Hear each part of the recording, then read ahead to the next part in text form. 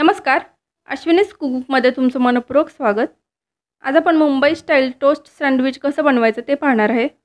हे सँडविच आपण तव्यावरती बनवणार आहे ग्रिलचा वापर करणार नाही आहे त्यामुळं बनवायला खूप सोपं आहे आणि खायला खूपच टेस्टी लागतं. तर चला सुरुवात करूया.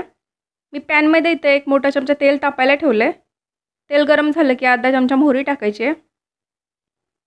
आधी आपल्याला सँडविचमध्ये जो मसाला भरायला लागतो तो तयार करून घ्यायचा आहे.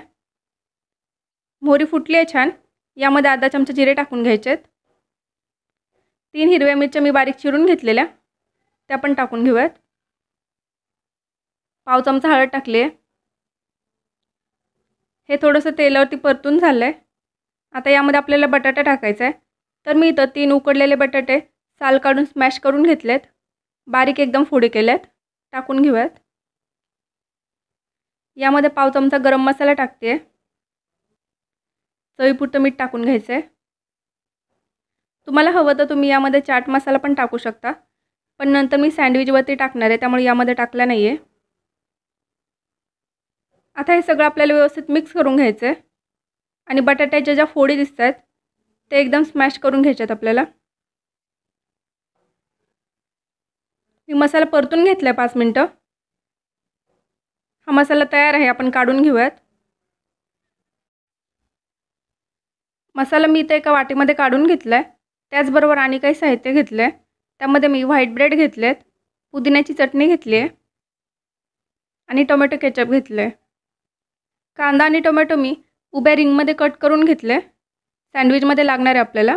चाट मसाला घेतला आहे बटर आहे. आणि बारीक शेव आहे. सँडविचच्या वरती आपल्याला बारीक शेव टाकायची खूप छान लागते. आपण सँडविच करायला घेऊयात. मी दोन ब्रेडचे स्लाईस घेतले त्याला आपल्याला बटर लावून घ्यायचं आहे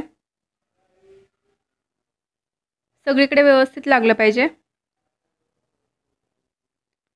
दुसऱ्या ब्रेडला पण लावून घेऊयात. आता एका ब्रेडच्या स्लाईसला आपल्याला पुदिन्याची चटणी लावून घ्यायची आहे. सँडविचसाठी जी पुदिन्याची चटणी लागते त्याची रेसिपी ऑलरेडी आपल्या चॅनलवरती आहे. लिंक मी दिली आहे डिस्क्रिप्शनमध्ये तुम्ही चेक करू शकता.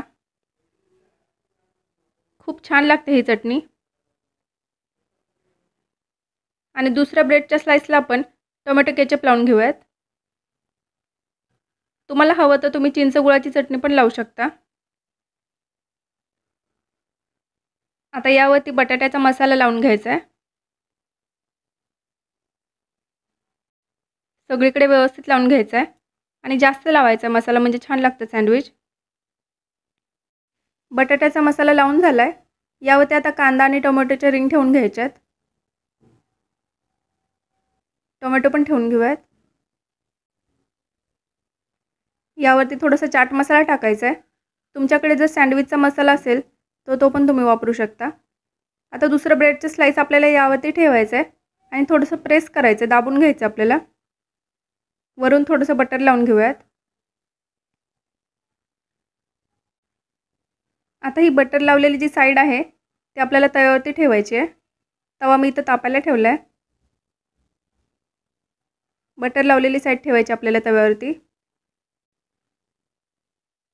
आणि आपल्याला लो टू मिडियम फ्लेमवरतीच हे सँडविच भाजून घ्यायचं आहे म्हणजे छान क्रिस्पी होतं. हाय फ्लेम करायची नाही आहे दोन मिनटं लागतात फक्त एक साईडने भाजायला.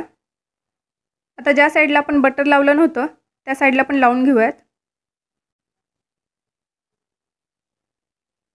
पलटी करून घेऊयात. तर तुम्ही बघू शकता एकदम छान क्रिस्पी झालं आहे सँडविच मस्त कलर आला आहे